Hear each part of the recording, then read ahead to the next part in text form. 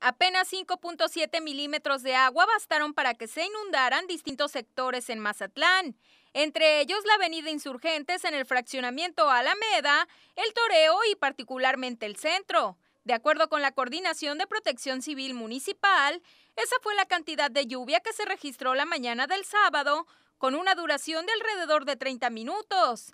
Fue esta misma precipitación la que elevó el nivel del agua por encima de las banquetas en calles del centro histórico como la Belisario Domínguez, la Roosevelt, Romanita de la Peña, Benito Juárez y Carnaval, en donde aún con el hecho de que los transeúntes debieron quitarse su calzado para atravesar las vialidades, se registró un saldo a favor. Hicimos obras de mitigación, por eso bajó la inundación, siempre se ha inundado.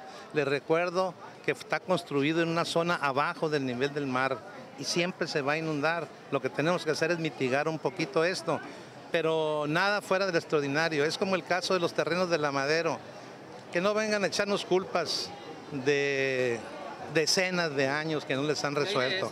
Ahora resulta que el alcalde actual es el culpable. Son priistas que envían y apoyados por algunos compañeros. No le sacamos a eso. Al final del día, la verdad sale a relucir.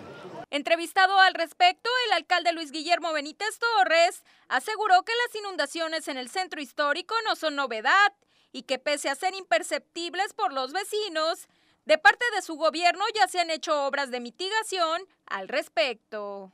Reconoció que durante la época de lluvias este sector en particular se convierte en Venecia.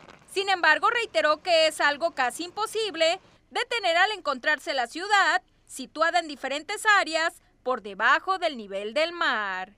Con imágenes y la edición de Gustavo García, para las noticias TVP, Cecilia Barrón.